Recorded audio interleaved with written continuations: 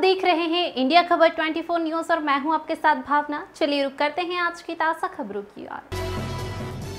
सीधी में जो आदिवासी के ऊपर पेशाब करने का वीडियो सोशल मीडिया पर जमकर वायरल हो रहा है, उस संबंध में जिला आदिवासी कांग्रेस ने जिला कलेक्टर वंदना वैद्य को मुख्यमंत्री के नाम ज्ञापन सौंपकर कहा। कि भाजपा के विधायक केदारनाथ शुक्ला के प्रतिनिधि प्रवेश शुक्ला के द्वारा जो आदिवासी के साथ कृत्य किया गया है, हम सब चाहते हैं कि भाजपा नेता के ऊपर सख्त कार्रवाई की जाए। बता दें कि इसी संबंध में कांग्रेस के जिला अध्यक्ष सुभाष गुप्ता, अजय अवस्थी, पीयूष शुक्ला, रविंद्र तिवारी एवं कांग्रेस के कार्यकर्ताओं एवं आदिवासियों के द्वारा जमकर कलेक्ट्रेट परिसर के सामने जय स्तंभ चौक पर प्रधानमंत्री के मुर्दाबाद के नारे लगाए और कलेक्ट्रेट के सामने पुतला दहन किया गया और कांग्रेस के नेता सुभाष गुप्ता ने कहा कि यह जो भाजपा के नेता है और जो कृत्य किया गया है, काफ़ी घिनौना कृत्य है और हम सब इसका विरोध और निंदा करते हैं।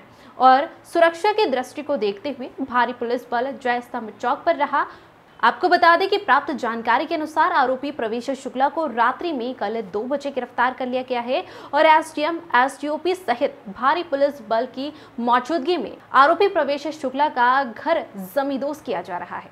फरीद खान की रिपोर्ट।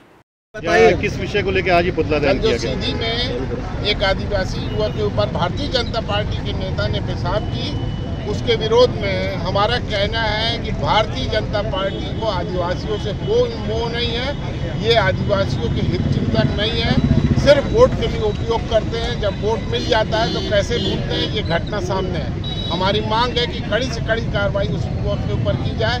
और कल जैतपुर में जिन पुलिसकर्मियों ने सर्पदंश से मृत बालक की माँ को जिस प्रकार पीटा, उसकी भी हम घोर निंदा करते हैं ऐसे सभी पुलिसकर्मियों को तत्काल सेवा से बर्खास्त किया जाए और कड़ी से कड़ी कार्रवाई की जाए।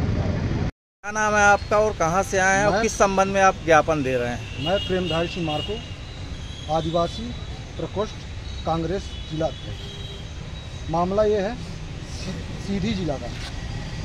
विधायक केदारनाथ शुक्ला जी उनके प्रतिनिधि प्रतिनिधि आरोपी प्र- प्रवेश शुक्ला जिन्होंने हमारे आदिवासी भाई के ऊपर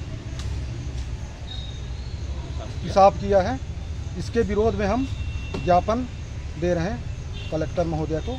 आपकी मांगे क्या हैं? आप ज्ञापन में क्या लिखते हैं ज्ञापन में उनको सजा दिया जाए ज़्यादा से ज़्यादा कड़ी सजा दिया जाए। ताकि दोबारा ऐसे घटना आदिवासी भाइयों को किसी भी भाई को इस तरह का नहीं करना चाहिए।